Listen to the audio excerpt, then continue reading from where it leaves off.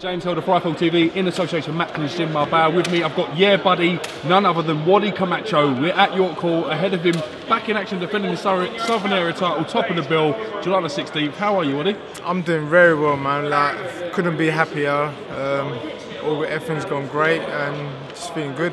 How do you feel the rebuilding process? Because that's that's what officially it is. I know you've you fought at great level, winning yeah. the prize fighter, challenging for the English as well. Signing with Steve Goodwin, sort of regrouping your career. I know yeah.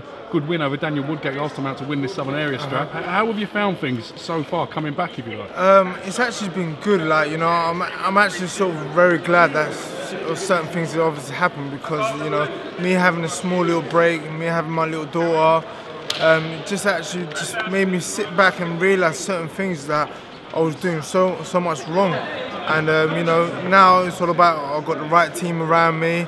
You know, I've got my trainer and everything like that. And now I'm just working on the things that that I needed to improve much more. That I should not be getting here. You know, I'm a southpaw tall and everything like that. Yeah, yes, I got the power, but I don't need to show the power in, in the fights. Like.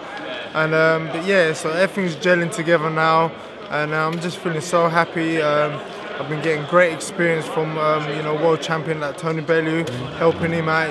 It was a pleasure, and you know like the things he was telling me actually you know actually showed me a different level. Like he actually brought me up to another different level, and um, you know thanks thanks to Tony as well. Like and um, you know now this next week.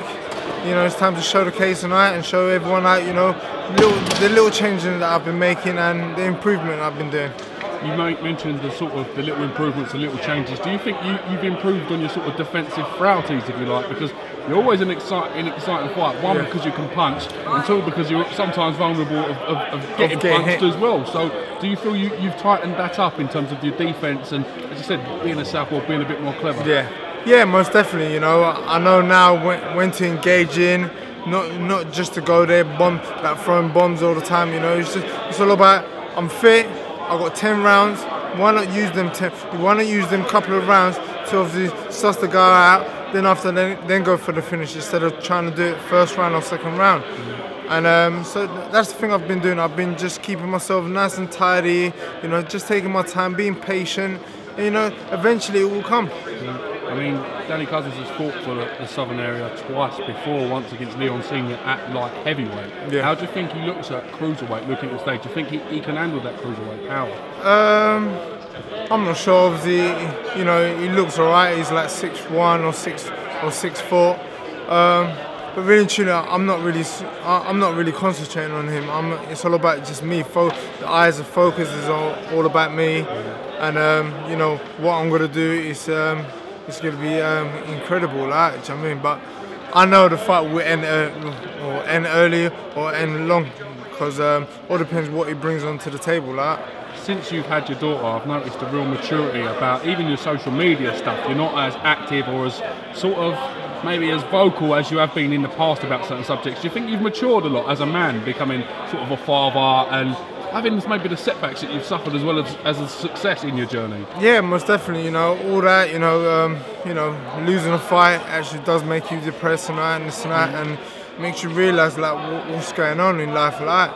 But you know, since I was in my little one, and also my missus and I, that she puts me in place as well. You know, she tells me certain things, and um, you know, it's just a great family structure that now I've got, and the boxing now is just easy. It's just I, I just there's certain certain things I've, I've, I've been doing that you know they're the things that you learn in amateur days like but it's like all of a sudden I had to obviously do, learn the mistakes in in the fight but now everything's come to to plan and everything's going smoothly. One thing I credit you for Wadi is your sort of ability to take a fight and make a sort of on paper not an average fight, but a fight that maybe we're not excited about, very exciting yeah. in the build up and the way, not just you know it takes two people to sell a fight, yeah. but you're always involved in good encounters. So we're hoping to see you in some big, big clashes coming on from this. Oh yeah, most definitely. You definitely see Wadi um, back in action with uh, on the big shows, on the big fights, on the big hypeness. You know, but so far, like I said before, when I had my break, I wanted to have the southern area. I've always wanted to have the southern area. Now I've got that. I'm going to do a defence and then move on to the English. Whoever's got the English, then, you know, get ready because I'm coming. And um, yeah, it's, it's all about having fun on the night, man. Any chance of going over old ground and maybe trying to put some of them losses you've suffered early on in your career, put them right? Is that something you've thought about? I know recently as well, defeat to, to, very talented Craig Kennedy, you know, with a DQ, that must be played on your mind for a little while. Is that something you've thought about? You know what? That's something that was. Um, that's something that's. It was in my head and that, but it's actually gone out of my head now because I know I had I had some demons around me, like yeah, feeding me certain instructions and this and that, and I went into that fight like all crazy. People watching it, it's like they know that it wasn't me. But you know, it's one of them things. Like right now, I let my my manager Steve Goodwin decide certain fights and this and that. Who trains you full time? Who are you training? Jason Rowland right now. I train at um, SW Pro Gym, you know, um, wicked gym as well, like, and uh, the atmosphere over there has just been um, phenomenal. It's just um, really great. I And think um, that change has helped you though. It's sort of a maybe Jason. He's a no-nonsense sort of trainer, taskmaster, if you like, very disciplined and very, very good at what he does. Is that? Do you find that that's helped you that sort of environment? yeah, it's good. But you know what? When I went to Jason, like, you know, fair credit, like he's he's putting a lot of work with me. Like he's tidy up and certain things. But the good thing about it is that when I tell him certain things, it's like he that's what he's gonna tell me. So it's like we gel it together. It's like my my new instructions and his instructions as well. It's like we gel it all together, and you know we'll come up with a perfect plan and that on the fight. So um, everyone's gonna see um, the new Wadi on the night, and um, you know great credit for Jason Rowland as well for putting in the work as well, and my whole team. Give me a fight prediction for July the 16th. How do you see this one playing out? just like I said before, you know, all depends like what he brings to the table. You know, if he wants to come in like all tough and all trying to brawl like, he's gonna get knocked out really quickly. But if he wants to box like and take his time, then it'll be probably be after five rounds he'll probably get knocked out. But um, a million percent he's gonna get knocked out, a million percent. You know, so anyone wants to bet or something like that, go to the bookies and I get some money. but yeah, no, it's all good, man. Like, I know it's gonna be a nice knockout. Nice win for me, just comfortable. The main thing is all about me looking nice and tidy and um, letting people come up to me and say to me, you know what, Wadi, you look good, you look sharp, you, you look nice and tidy, and that's what I like. Would you ever fight for the Spanish title?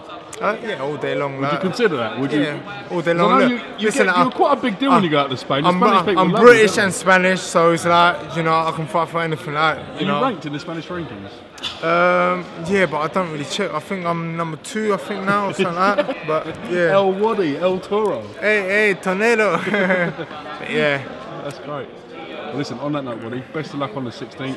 Looking forward to a great contest. Good to see you back in action. And as I said, we're on the rebuild. That's it. And um, yeah, thank you for giving iFL a bit of time. No today. problem, man. It's been a pleasure, and it's been a long time that I haven't seen you. I I, see the Kugan, thing, yeah. Kugan uh, last couple of weeks and that, but um, you know, it's nice to see the old faces and that, and then carry on, carry on with the journey and that. Top man. Also, I just want to say big thanks to my sponsors as well: Lantern, Box Fit, um, 195, Essex House, Kevin. And um, SW Pro Gym, you know, thanks for all the support that. Um, it's been a pleasure, and let's have some fun on the 16th. Top man, Wally. We'll see you on July the 16th. Thank you from iFL TV. No problem. Thank you.